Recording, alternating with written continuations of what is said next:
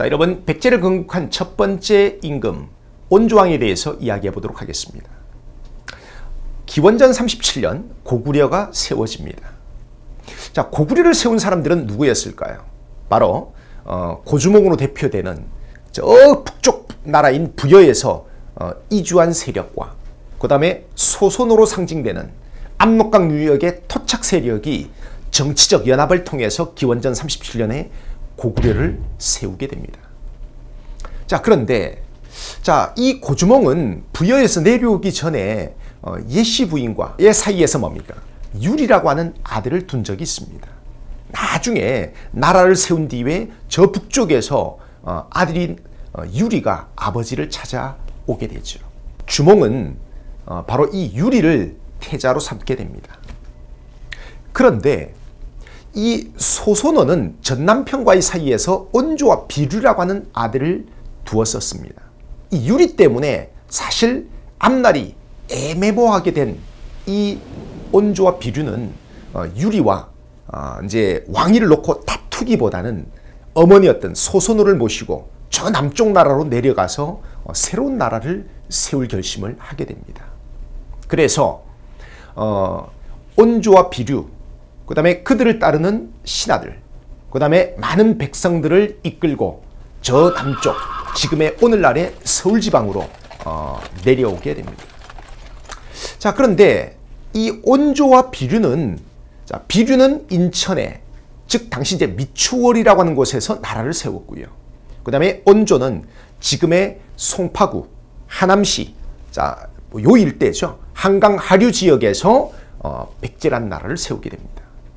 나중에 어, 비류가 죽고 비류를 따르던 세력이 온조 쪽으로 이제 합류를 하면서 어, 이제 백제가 되, 이제 만들어진 건데 이것이 바로 기원전 18년의 일입니다. 자 그러면 자 온조는 왜 지금의 어, 서울 지방에다가 나라를 세웠을까요? 아마도 뭐 평야라고 하는 뭐 그런 조건. 당시에는 이제 농사를 짓던 시대니까요. 자, 그 다음에 어, 한강 백기를 이용해서 서해로 나갈 수 있었고, 당시 이제 어, 서해 어떤 해상교통을 통해서 중국과 접촉할 수 있었, 있었기 때문에 어, 아마도 지금의 서울 땅에다가 나라를 세우게 된 거 아닌가 싶습니다.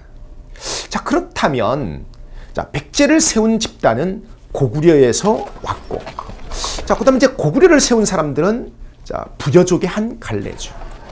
그러니까 자, 우리의 그 고대 왕국 세 개 중에서 두 개 나라가 이 부여족 갈래가 세운 나라가 되겠네요.